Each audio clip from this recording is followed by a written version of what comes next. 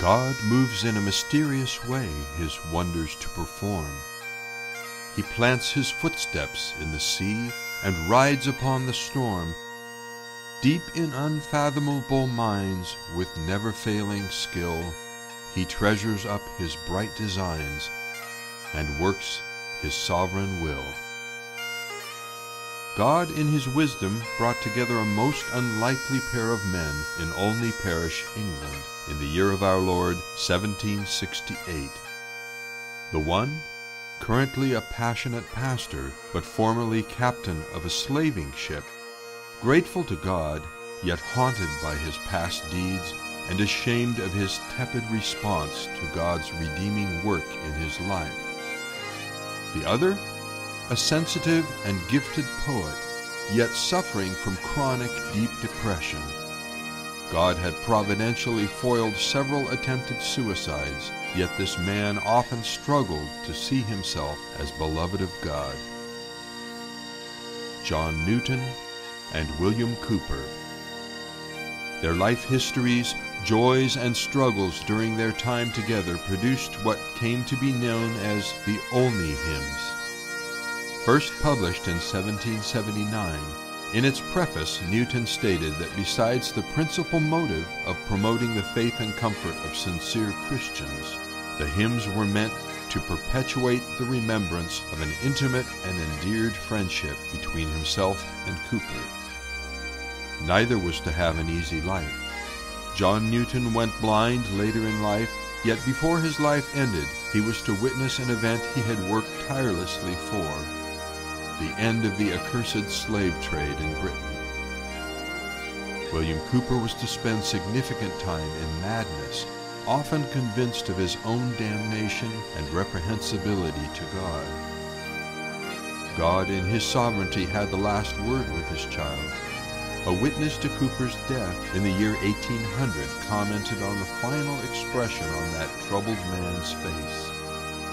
With its composure and calmness there mingled, as it were, a holy surprise. Hymns from this collection have traveled the world over, putting into words the heart's grateful praise to the God who loves us enough to seek us out with His amazing grace, and putting expression to many a heart's deep and passionate longing to draw ever nearer to its beloved Savior. Oh, for a closer walk with God.